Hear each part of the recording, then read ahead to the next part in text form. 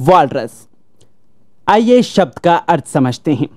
Walrus, समुद्री स्तनपाई लंबी मूछ वाला जानवर। वालरस आर्कटिक क्षेत्र में पाया जाने वाला एक बड़ा समुद्री स्तनपाई है, जिसकी लंबी मूछें और विशिष्ट दांत होते हैं। उदाहरण के तौर पर देखें तो the walrus is known for its long tusk the walrus is known for its long tusk इस वाक्य का अर्थ है वालरस अपने लंबे दांतों के लिए जाना जाता है।